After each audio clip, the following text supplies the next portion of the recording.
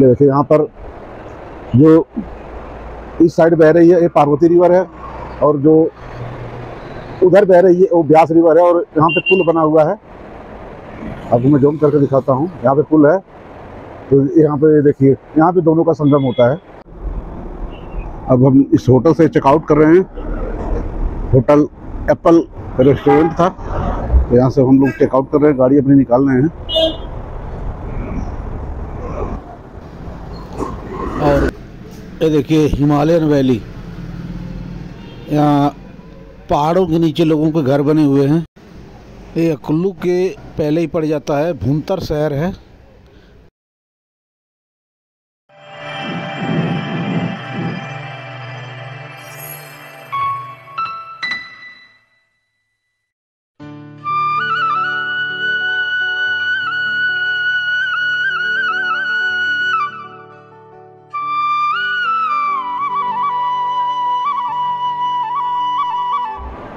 Good morning दोस्तों।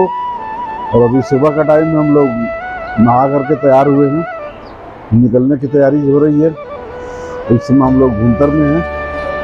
कुल्लू से लगभग 10-15 मीटर 10-15 किलोमीटर पहले ही हैं। और इस समय यहाँ का व्यू देखने लायक है। अभी बालकनी में खड़े होकर दिखा रहे हैं आपको। मैं बैक कैमरे से दिखाता हूँ आपको यहाँ पर पार्वती और ब्यास नदी का संगम होता है। देखिए, यहाँ पर जो इस साइड बह रही है, ये पार्वती रिवर है और जो उधर बह रही है, वो ब्यास रिवर है और यहाँ पे पुल बना हुआ है। आपको मैं जूम करके दिखाता हूँ, यहाँ पे पुल है। तो यहाँ पे देखिए, यहाँ पे दोनों का संगम होता है। बहुत ही बेहतरीन व्यू है। और पहाड़ियों पे धूप खिल गई है और हम लोग यहाँ से निकलने की तैयारी कर रहे हैं। और रात को हम लोग एप्पल रेस्टोरेंट में थे। बहुत बढ़िया फैसिलिटी थी इसमें वीआईपी रूम था। और कॉस्टली भी नहीं था, अभी नया नया उद्घाटन हुआ था। और हम लोग आए तो यूट्यूब का गाड़ी पर लोगों देख के उन्होंने रोक लिया और ज़बरदस्ती रहने पे मजबूर कर दिया। ये तीन हज़ार का रूम है जो एक हज़ार रुपये में ही दे दिया। वी आई पी रूम था, खाने पीने की पूरी व्यवस्था थी। तो हम लोग यहाँ पे थे रात को और यहाँ पे हम लोग रात के आठ बजे पहुँचे हैं आठ से साढ़े आठ बजे। और यहाँ से अब तैयारी बना रहे निकलने की।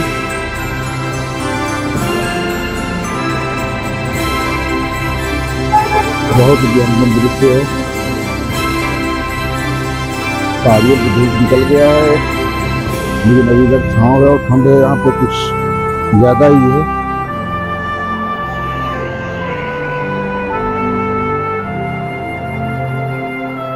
और ये है रूम तो हम बालकनी में थे।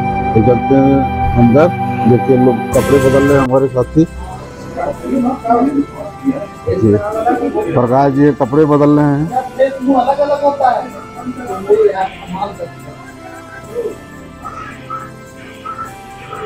सारे अभी खड़े हुए हैं सामान।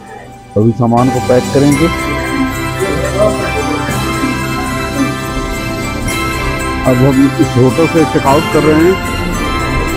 होटल एप्पल रेस्टोरेंट था। तो यहाँ से हम लोग चेकआउट कर रहे हैं। गाड़ी अपनी निकाल रहे हैं।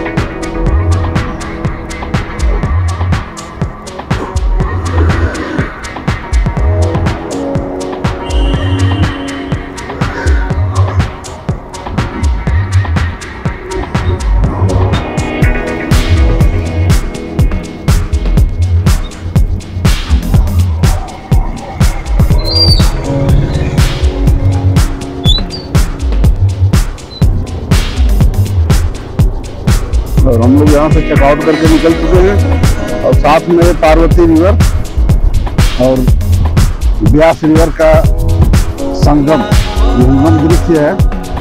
हम आपको नज़दीक से दिखा रहे हैं। अभी इधर नज़दीक से जाकर के दिखाते हैं। यहाँ पर होता है दो नदियों का संगम। ब्यास रिवर पार्वती रिवर यहाँ पर आके दोनों मिल जाती है और आगे ब्यास के ही नाम से हरिद्वार तक चली जाती है और यहाँ करके गंगा में मिल जाती है। सामने ऊँची ऊँची पहाड़ियाँ जिसके ऊपर हमने चढ़ना है।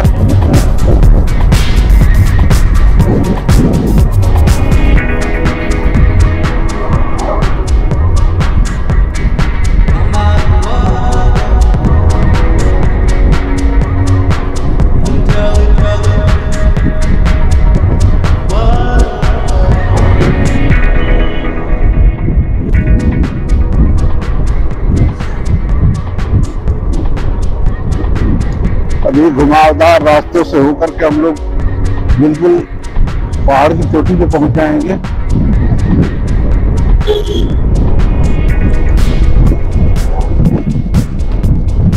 और यहाँ पर इस रास्तों पर गाड़ियों की तो बस हो जाती है। और फिर एक बार हम पार्वती रिवर और ब्यास रिवर को क्रॉस करेंगे, पुल पर हम लोग चढ़ चुके हैं। और पुल के द्वारा हम लोग उस पार चले जाएँगे। दूसरी पहाड़ी पर।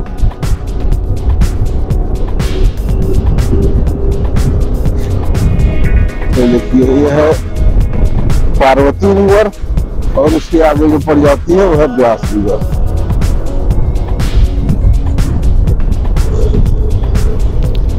और इन दोनों नदियों के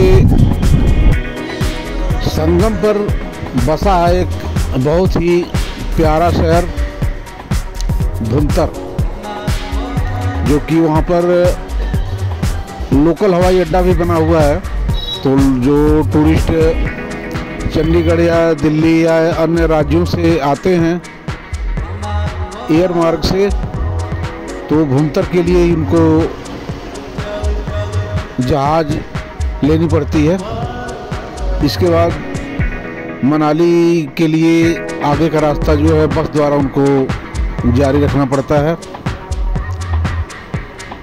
और भुंतर शहर बहुत ही प्यारा शहर है। दोनों नदियों के बीच संगम पर बना हुआ है, जो कि ब्यास और पार्वती नदी का संगम है। और यहाँ से मनाली आठ, अड़तालीस किलोमीटर है और कुल्लू आठ किलोमीटर की दूरी पर है। तो रोड बहुत अच्छे बने हुए हैं। इस रोड पर इस समय हम लोग की गाड़ी 60 की स्पीड में चल रही है। मैक्सिमम स्पीड, अच्छी स्पीड है। इससे ज़्यादा भी ठीक नहीं है। और यह भुंतर शहर, नदी के बिल्कुल किनारे बसा हुआ है। पहाड़ियों के नीचे भुंतर शहर बसा हुआ है। एक मकान के ऊंचाई पर एक मकान बना हुआ है, सीढ़ी दर सीढ़ी। तो देखने में बहुत प्यारा लगता है। और इस समय नदी में कुछ खास पानी नहीं है, पानी कम है। फ़िलहाल मौसम भी बहुत साफ़ सुथरा है, यहाँ पर पोल्यूशन थोड़ा कम होता है।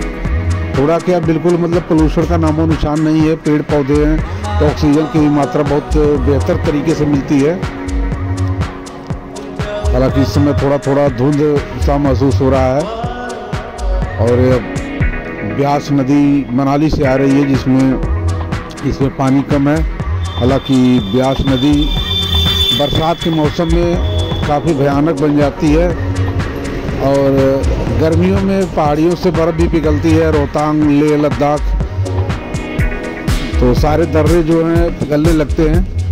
तो इस करके पानी काफ़ी बढ़ जाता है और सीधे ब्यास नदी जाके हरिद्वार में मिल जाती है। गंगा में विलीन हो जाती है। तो बहुत ही सुंदर दृश्य ब्यास नदी का है और पार्वती नदी हमें पीछे छूट गई है।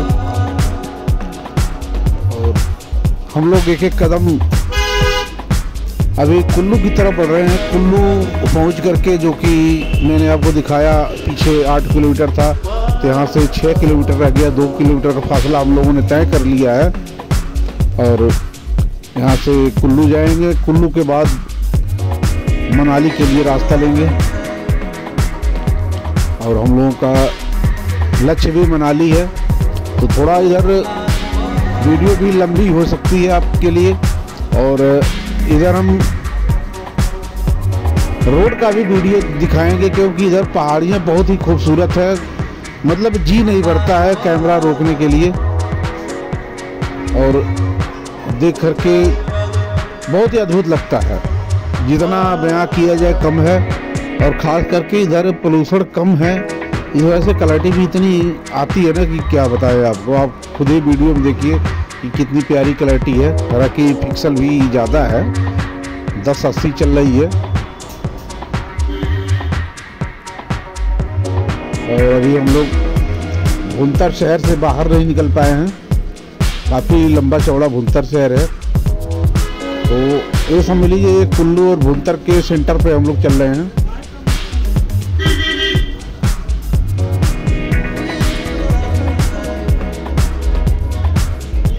और आगे की भी वीडियो आप ज़रूर देखना, क्योंकि आगे बहुत ही खूबसूरत नज़ारा आने वाला है। तो उस नज़ारे को मिस मत करिएगा।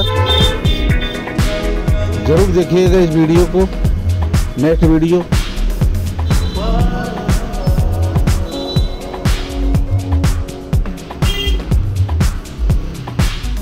और मैप हम लोगों का लगा हुआ है, इससे पता लग जाता है एक्टिविटी का। हम कहाँ पर हैं और दूरी कितनी है, हमें कहाँ जाना है, किस रास्ते पे जाना है, क्योंकि हम लोगों के लिए अनजान रास्ता है।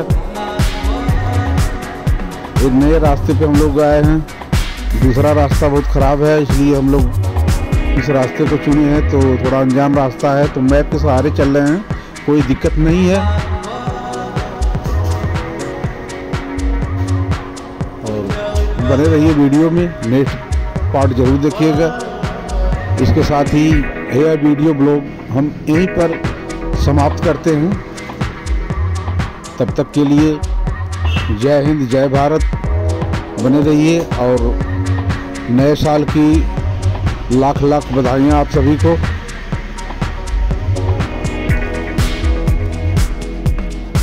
तो सभी को नया साल सुख समृद्धि मिले। इसके साथ ही जय माता दी।